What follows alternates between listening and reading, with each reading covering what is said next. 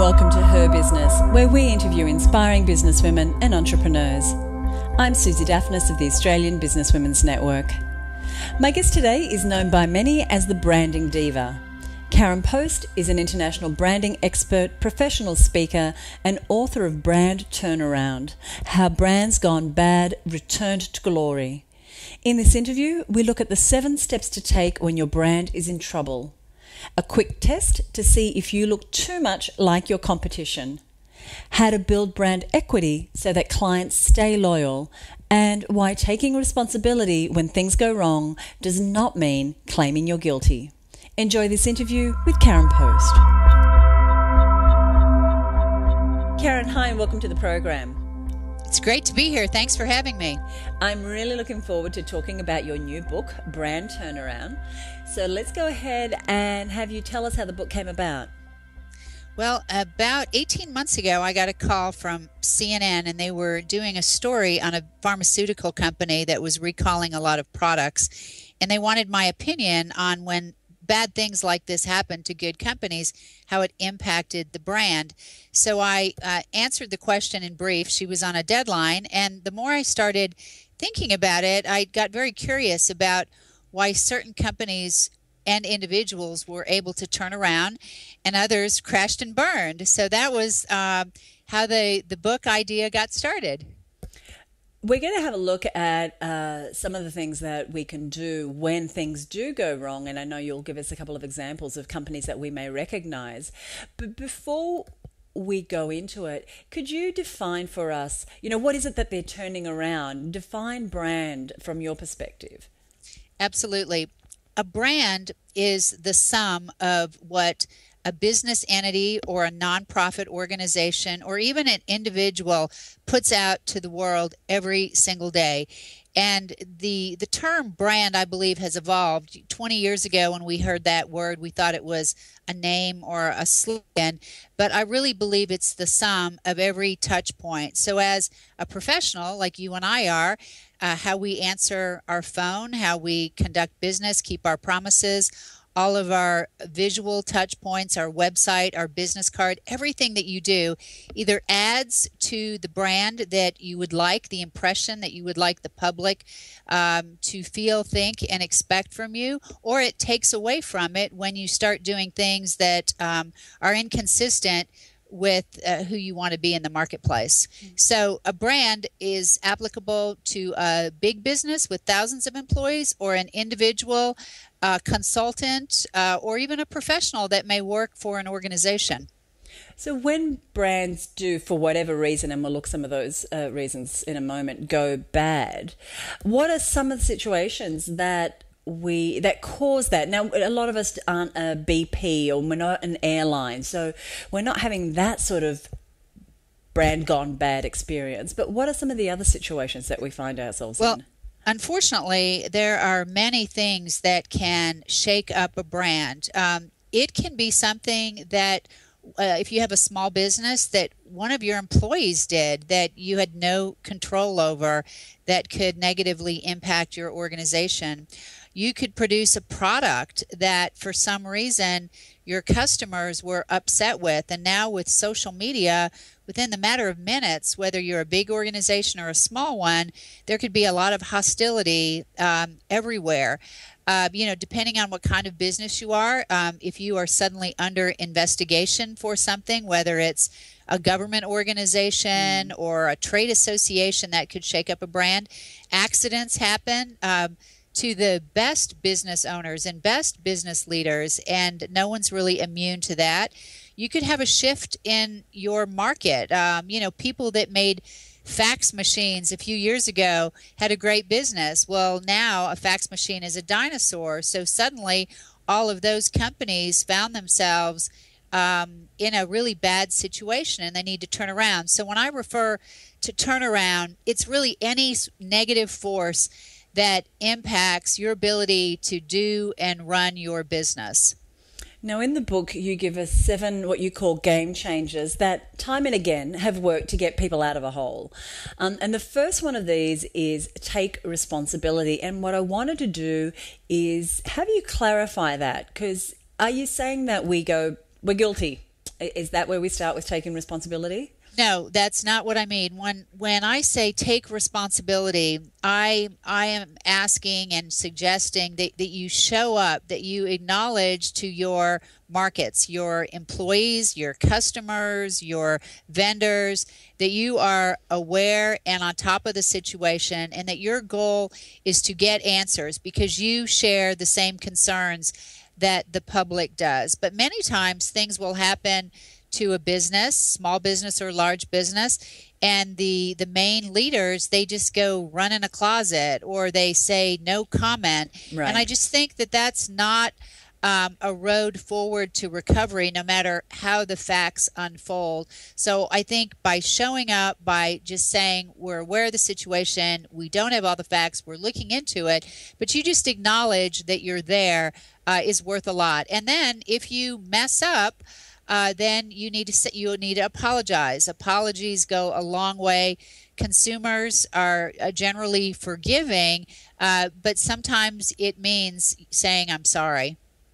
I know there's been situations. I've, I've been in business since I was 26 years old, where something happens, and perhaps it's you feel like it's not your fault, but um, there's really it, when the customer has a complaint or has had an experience, you know that just sometimes just saying, I hear you and I'm doing something about it, uh, is more important than anything I, I've found. It is, and it's also important to not start pointing fingers mm. and um, creating a blame game because that really doesn't solve the problem. Your focus needs to be on solving the problem. And often, when these brand meltdowns happen, there's a lot of emotion that's involved, and and that would be many of our first reaction is to point the finger right. at someone else. But you know, ultimately, even if it was one of your employees, like um, the tragic uh, ship accident in right. Italy a couple weeks ago. You know, it's it sounds like based on what we know that the captain was at fault, but ultimately the company that hired that captain, you know, has to share responsibility because they put that guy in that place. So you just need to be sensitive, acknowledge that you're working on it, don't point fingers and just be focused on finding solutions. Mm sometimes when things happen, we can, as you said, just want to run and hide. And yet you invite us to find stamina, inner strength, and the will to come back when we've been knocked down. Can you tell us a bit about that? you know the finding or finding your deep will uh, is so important because if you don't they will your customers will soon be writing your will as if you just as if you bit the dust um, yeah and you know and if, if you look through history um, so many people that I know, we all admire individuals and, and companies that were really faced with huge obstacles. Um, and, and instead of throwing in the towel, um, they developed a plan. They worked it every day. And, you know, time heals a lot of things. Like many of the cases in, in my book uh, talk about high profile professionals and bad things that either they created or that happened to them. And and time is is a good friend. And so you just need to um, find the strength and and work your plan and continue to stay focused on what your goals are. The role of the leader, uh, which in many cases is you know the business owner or the CEO, um, in this difficult time is obviously important. Um, but what takes what steps, excuse me, should a leader take when they are required to step up? How do they approach it?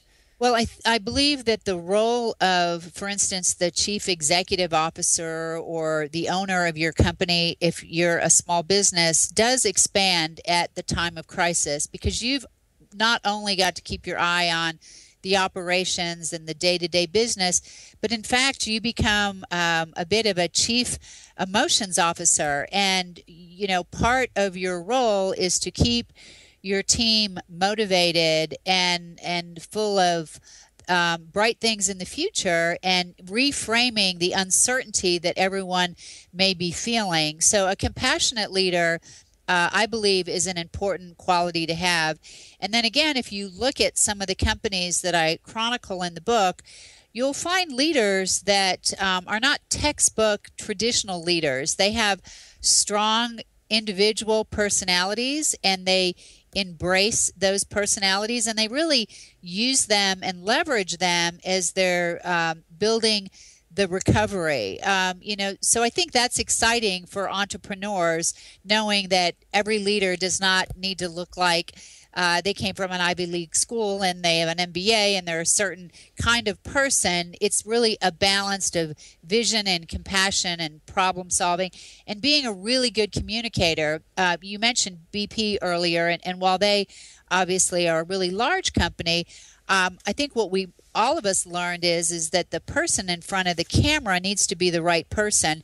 So say if you have a small business and something bad happens and you're not really good in front of the camera, you need to recognize that and find someone else to step in and and deal with that public line, whether um, it's an advisor or an attorney or someone else that you trust, because that first point of communication can be very damaging, as we all saw with uh, Tony Hayward and BP, that he was not the right personality for that situation, and it was very damaging. Mm, well, what I'd love to do at this point then is give our listeners an example of a leader who that I really admire, and that's Howard Schultz of Starbucks. Tell us, for instance, in contrast, um, the example that you give in the book about his leadership at a time where Starbucks was in a bit of a hole. Well, you know, he left the company and um, and then, but still served on the board and kept an eye on what was going on. And apparently, in addition to the numbers falling, customer satisfaction and just the love of the brand was uh, really starting to deteriorate. So when he jumped in. Um, you know he rolled up his sleeves and and he went right to the core of what built the Starbucks brand which was all about the customer experience. And you know that seems like an obvious place to go but sometimes as organizations grow and get really large they lose touch with the reason that they are in business is to deliver wonderful experiences to the customer. So I think that was a big turning point for him. And then some of his um, values from uh, coming from a middle class family and the importance of benefits for employees as he became a powerful leader he never lost sight of those and i think he's viewed today as a very compassionate leader that um, is also sensitive to the employees' needs as you're growing an organization and turning around a brand. So I, I think Howard is a, is a great example of good leadership. One of the um, chapters that for me, you know, I did a bit of a double take and reread it, was the one about staying relevant because you make a big point of saying don't try to please everyone. Um, tell us who we should be relevant to. Is it the customer or prospect or employer? Is it our staff? Who is the, it's a mix because um, as business owners and entrepreneur, uh, we don't just have one market. We have certainly the consumer that buys our product, and even if you're in a B two B space, uh, when I use the word consumer, I mean anyone who who buys what we're selling. But equally important. Um, are your troops and and your employees. So on all situations and whenever you have a brand you have your external brand and then you have your internal brand and it's just so important to be relevant to the consumer of that um, piece of your brand. And often you know companies start and then they grow and then they get so busy and they they lose sight of what's really important to the customer and and you've got to as you're doing a turnaround you need to look at your offering your product your services a little bit like the cycle of fashion. Now there's some categories that are timeless and, and don't move a lot but just the look and feel of your marketing materials what that says about your brand. If you've not looked at them in a while you know today they may look out of date like wearing an outfit that's out of style and so by being relevant, you're not only talking about delivering on promises, but are you reflecting who you are through your your look and feel and your communications? And as you mentioned earlier today, there are so many more ways that we communicate. Oh, there are so many with social media. Mm. I mean, even what your Twitter profile looks like, whether you're on LinkedIn, all of those things, especially for a small business owner, are are huge pieces of the puzzle that make up your brand. So I recommend that you know annually at the end of the year, that's the time that I do it. I look at all my touch points and and I ask myself the hard questions. Does this need to be freshened up? Does it feel like it's current and contemporary or do maybe I need to reach out and speak to my markets and find out what's important to them but being relevant is just making sure that you're not just running your business to make to make your numbers and your goals, but that you are absolutely meaning something to your consumers and that they see what's in it for them. So, staying on the subject of that ongoing improvement and keep improving is one of your game changers, what are some of the questions uh, we can ask ourselves to get started on that road of innovation and, and growth? And you've just said looking at your touch points, checking whether they're relevant. Is there anything else? You know, um, I believe all brands are a work in progress. Um, I, I don't think there's one brand that any of us could name that is exactly the same as when it started. Um, so knowing that things change constantly, you know, you need to look at how social values have changed. Um, like in the past few years, the environment and being a friend of the environment that's that's really um, surfaced with a lot of consumers so you may want to look at some areas there are you um, are you covered in that area? Uh, with technology constantly changing, are you um, innovative and leveraging the best technology that you can? And even your processes and, and how you do business or how people reach out to you. You know, it amazes me how many big websites I go to from big companies and I love what they're selling. And then I try to find the, how I can contact them and you can't find it on their site. So something as simple as how can consumers and buyers of your products connect with you and engage with you and are all those processes easy and enjoyable. So those are just a few areas that you can look at. Mm. I want to talk about the subject of equity in a brand. And we recently saw Kodak, a brand that many of us have grown up with, and which I think had great brand equity um, so many memories tied with it. But when it comes to perhaps a smaller business, what is brand equity and, and how do we build it? Well, earlier when I you asked me to define what a brand is, I said it's the sum of everything that you do. So I I look at brand equity as a bank account. And every time you do something stellar, a great piece of work, you solidify a wonderful relationship, you push out a new product, um, you connect with your customers and they love you, you get deposits for all of those things. So you want to keep your balance high because history has proven again and again that when businesses do stumble or individuals, the recovery process will be so much easier if you've got a lot of love built up versus if you are looking for love the day that you melt down. And what I mean by that is even something as simple as social media for people that, you know, well, it takes a lot of time to do that and I, you know, I don't really see any business from it right now. But then should you need to respond to something, say one of your products is recalled or you know there's a bad accident in your company you trying to scramble around and find people ambassadors and fans that you can assemble in one spot on the day of the crisis is is not going to be the way you want to do it you want to have the love there built so that when things do happen you almost have a teflon coating about you and and and it will bounce off and and you know i know there are international government leaders that have felt this and seen this. You know, there's some that continue to do silly things, but they're so loved that people are more forgiving.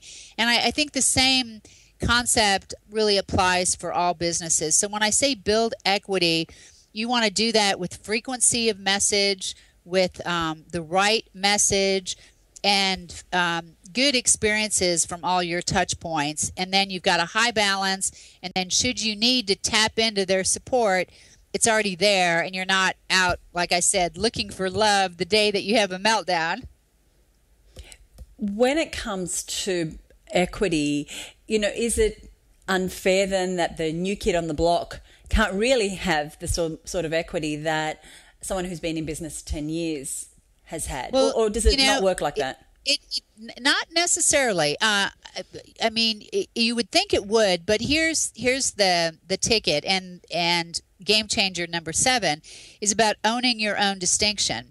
So if your business, say if you're a, a consultant and you're really just like all the other consultants, and there's nothing unique about you, everything is going to be harder to do and to achieve versus if you have a unique place that you are positioned among your competition and then you start building equity and building relationships the process is just so much easier because you're given the marketplace something to hang on to which are your points of distinction. So whether it's um, a name like you know I go by the branding diva. Uh, often people don't even remember my name is Karen Post because I've coined that, and it's you know while it's a little silly. People remember it. And so you want to have a stable of unique assets about you, whether it's um, a coined word, whether it's a certain look that you have, whether, you know, you love black Labradors and, you know, and, and that black lab is on a lot of your materials. Anything unique, it just makes it easier for people to remember you and to put you in a separate spot and hopefully a higher spot against your competitors. So that's why distinction is so important uh, really in, in the turnaround. And even if you never have to turn around, uh, being distinction makes your marketing dollars and all your efforts be so much more effective. So when you in your book you say standout brands play smarter, is it having those distinctions? Is that what oh, they do to play smarter?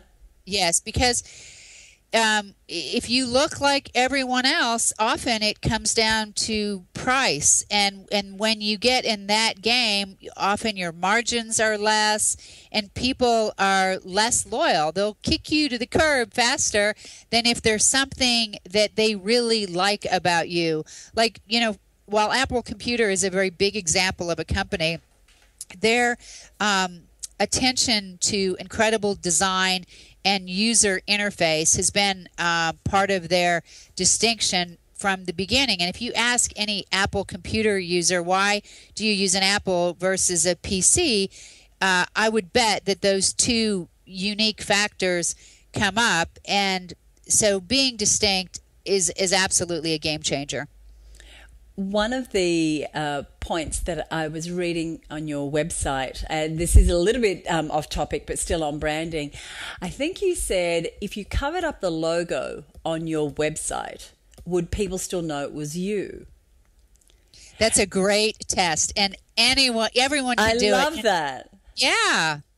Because and the same I think most would fail. yeah, and the same thing with your business card.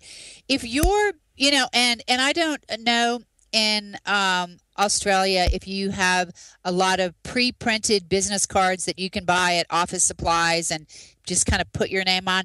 Those things make me crazy because you just are like everyone else and you're just confirming that there's nothing special about you. So, is something simple as your website look, your business card, the shape of your business card, it needs to be unique and you need to stand out and and I think it's even more important when you're a small business because you may have less resources than the big well-funded competitors. But but taking that test um, is a great exercise, and if the listeners don't do anything else from this interview, I hope they do that. And if someone could be confused and think it's their competitor, then they've got some work to do. It certainly made me think, it's like, oh, you think, well, the logo's there. Of course, people know. But, you know, does it feel like us in every way? You know, so I think that's a wonderful, easy uh, quiz. And I found that, as I said, on brandingdiva.com. Just before we wrap up, is there anything else that you would like to leave us with, Karen? You know, um, while my book talks about big companies, I, I even talk about a former bank robber who spent seven years in jail and how he turned his life around. So the messages are really for small business and big business and, and even individuals. Um, 11 years ago, I did a startup that unfortunately had to be um, put on the History Channel, and it was very devastating. And I felt like my personal brand was at its all time low. And I used many of the things that I talk about in the book to turn my personal brand around. And I can't say that it happened in five minutes, it was about five years before it really did the 360 but don't um, don't give up um, stick with it with the right plan and fresh thinking uh, mission possible on on anyone's brand the book is Brand Turnaround How Brands Gone Bad Return to Glory and the Seven Game Changers That Made the Difference. Karen, thank you so much for joining us. It's great to be here. Thanks for having me.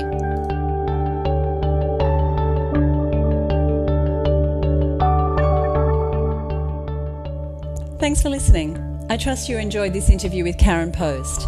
Learn more about Karen at brandingdiva.com and pick up your copy of Brand Turnaround at your local bookstore. I'm Suzi Dafnis of the Australian Businesswomen's Network, a national provider of education and training for businesswomen. If you're ready to be connected to inspiring women who are making a difference to the business landscape, ask us today about our membership programs. And for more interviews with inspiring women, visit our website at www.abn.org.au.